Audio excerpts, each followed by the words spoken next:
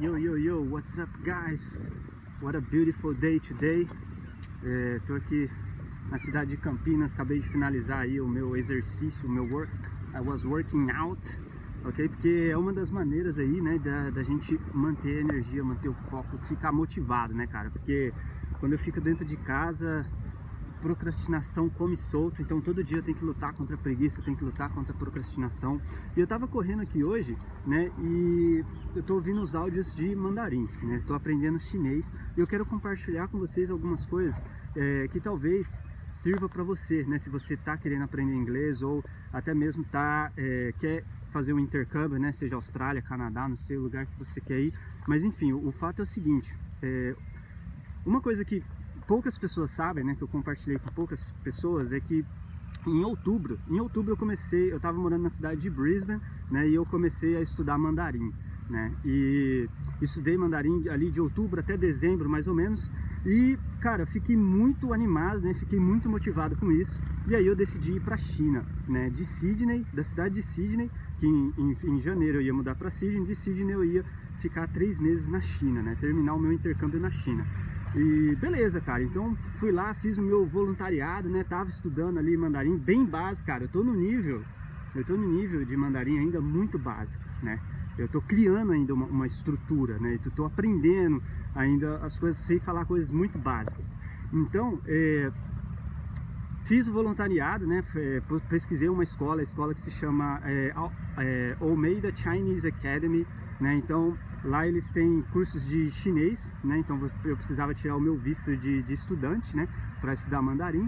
E, enfim, apliquei para lá para ser voluntariado, né? Para dar aulas de inglês. Então eu poderia dar aulas de inglês e aí eles iam me providenciar o visto, né? E eu ia poder se voluntariar lá na escola em exchange, né, por moradia, por alimentação e tudo mais, e eu só teria que pagar o curso, né. Beleza, galera, então fiquei super animado, fiz o meu vídeo de voluntariado, apliquei, né, fui aprovado, e aí eu só precisava comprar a minha passagem, né, só precisava comprar a passagem e pagar uh, a matrícula do curso, né, que tá, era 2 mil dólares seria esse curso. Né, para estudar um, um curso é, intensivo de três meses na China para tirar um visto também de seis meses. Beleza. E, só que aí, cara, é, veio um insight, né? Porque eu ainda estava com meu chinês, com mandarim, eu estou com mandarim ainda muito básico, né? Eu não tenho assim uma... Uh, eu não consigo me comunicar ainda com os chineses, principalmente entender, cara, a parte de, de entender o que eles estão falando, né? Então, é, eu fiquei é, refletindo sobre isso, né? Porque, eu, na minha opinião, cara, quando eu quero fazer um intercâmbio, igual eu fui para a Austrália, fui para os Estados Unidos em 2017, eu quero aproveitar ao máximo a minha experiência, eu quero ter uma experiência boa na China, eu quero ter uma experiência boa na Austrália, né? É, eu quero, é, de certa forma, eu quero ser independente, né? Ter uma independência, poder fazer o que eu quero, é, ir para os lugares que eu quero, né? E tal, se eu precisar negociar alguma coisa, eu, eu, eu quero ter pelo menos o, a noção de como fazer isso, de, né? Eu quero que pelo menos os chineses me, me entendam. E aí eu fiquei refletindo sobre isso e falei, cara, é, talvez não é o momento certo para eu ir né, fazer esse intercâmbio ainda, por questão do idioma, né? Eu ainda estou com um idioma muito básico, eu quero chegar lá, eu quero me, me interagir com os chineses, né? Eu quero fazer amizade com, com os chineses e tudo mais, né? Quem sabe, talvez eu possa até trabalhar lá, entendeu? Não sei o que pode acontecer, né? Mas eu sei que se eu tiver o idioma, né, as minhas oportunidades vão ser muito maiores. Né, vão ser, a minha experiência, consequentemente, vai ser muito melhor do que se eu ir com um chinês muito básico. Vou estudar lá? Sim, vou estudar, mas mesmo assim, cara, três meses, eu, eu estando cru, não é tempo suficiente né, para eu atingir um nível bom de chinês. Né? Diferentemente de quando eu estudei dois anos de inglês no Brasil fui para os Estados Unidos a primeira, na, a primeira vez, cara, eu falava inglês, entendeu? As pessoas me entendiam. Então, mas mesmo assim ainda eu tive uma evolução muito grande lá, né? Essa experiência, essa, essa convivência, né, de, com os americanos por seis meses, né, foi essencial, porque eu já tinha inglês, eu já falava inglês, então eu só melhorei, eu só, eu só aperfeiçoei. Daí eu tava pensando, pô, cara, eu preciso fazer a mesma coisa com o mandarim, né? Eu preciso chegar lá com uma base boa, cara. pelo menos as pessoas precisam me entender já em mandarim, e aí sim eu vou melhorar o meu listening, né? Vou melhorar o meu speaking também e tudo mais, né? E, e com isso, considerando isso, eu peguei e decidi, né, não ir à China. Aí, não, consequentemente, não, cance não comprei, não paguei pelo curso, nem comprei a passagem, cancelei o meu voluntariado, e aí nisso tudo, né, eu já tinha também perdido, o, já, já tinha completado, né, na verdade, minha missão ali para mim na Austrália, e aí eu decidi voltar para São Paulo, né, e tô aqui, cara, tô na pegada, estudando mandarim e tudo mais, enfim, aconteceu tudo isso aí, né, a questão que nós estamos vivenciando agora, então eu tô ficando muito tempo em casa, cara, dentro de casa. Eu saio, você tá me vendo aqui fora agora, mas é porque é só nesse momento de exercício, né? De exercício físico, venho aqui no parque e tal. Mas a maior, o resto do dia, cara, eu passo dentro de casa e tal. E, e eu tô aproveitando, cara, esse momento como uma oportunidade, entendeu? Como é que eu posso agora focar 100% no mandarim? E, cara, é extremamente difícil. Hoje eu tô aqui ouvindo uns áudios da lição nova muito difícil entender. É, é necessário várias e várias repetições e tudo mais, mas eu não posso pensar que é impossível. Né? Eu não posso desistir, enfim, eu tenho que ter persistência. E talvez, se você, né, é, esse, essa questão do corona também impactou nos seus planos, né? Talvez você estava indo para a Austrália e tudo mais, cara. Se você não está investindo no inglês, se você ainda não fala inglês, né, tá indo para lá para aprender inglês, e você tá em casa agora e tá de bobeira, meu amigo, não, não fica de bobeira na tomateira não, irmão. Como dizia Murilo, Murilo Gun, né? Não fica de bobeira na tomateira, cara. Aproveita esse tempo, entendeu?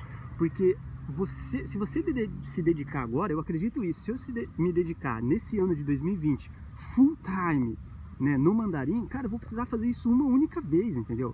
Porque a hora que eu ficar bom, a hora que eu aprender o idioma, eu não, não preciso mais me preocupar em estudar, em fazer aulas, entendeu? Não preciso mais voltar a estudar inglês.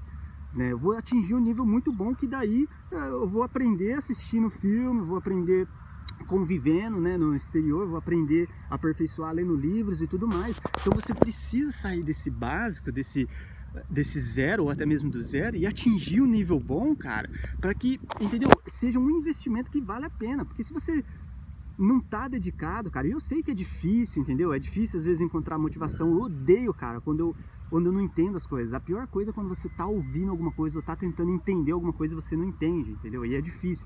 Mas eu não posso subestimar a quantidade de repetições necessárias, entendeu? Tem que ter persistência e tudo mais porque vai valer a pena e você vai aprender, cara. Se você se você persistir, se você manter a frequência todo dia ali, você estudar, você seguir o método. Eu vejo várias pessoas dando conselho também de estudar sozinho. Ah, cara, estuda sozinho. Cara, por que você pode aprender sozinho? Com certeza, mas por que você iria querer fazer isso? Isso vai te custar tempo e energia, cara.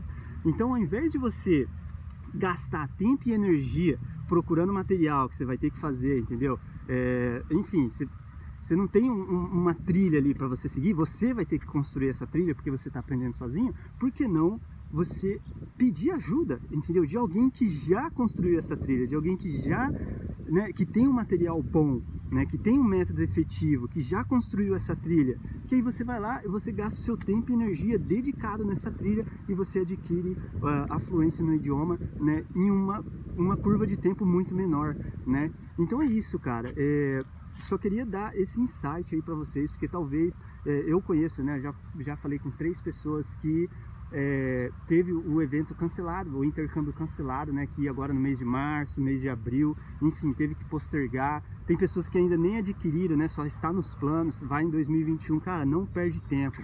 Começa, dedica no inglês. Eu tenho certeza, eu garanto para você que isso vai fazer a diferença na experiência do seu intercâmbio, tá? E vai fazer diferença para você também. Você vai adquirir uma habilidade, isso é uma habilidade, você nunca vai perder isso. Né? É, um, é um investimento excelente, beleza? É, se você quer estudar sozinho, cara, faz isso, estude sozinho. Se você quiser ajuda, se você quiser uma trilha de algo que funciona, um método efetivo, cara, eu vou deixar o link aqui do meu curso de inglês, beleza? Para a gente fazer aula, você vai ter uma aula experimental ok? Eu vou mostrar para você como funciona o método, vou mostrar para você a estrutura do curso, tudo que você precisa fazer para você poder começar a falar inglês, beleza? E falar inglês, cara, com confiança. né? Eu estou aprendendo mandarim, eu quero falar mandarim, eu quero falar com confiança, eu quero que as pessoas me entendam, eu quero ter fluência, alright? E eu quero isso para você no inglês também, cara.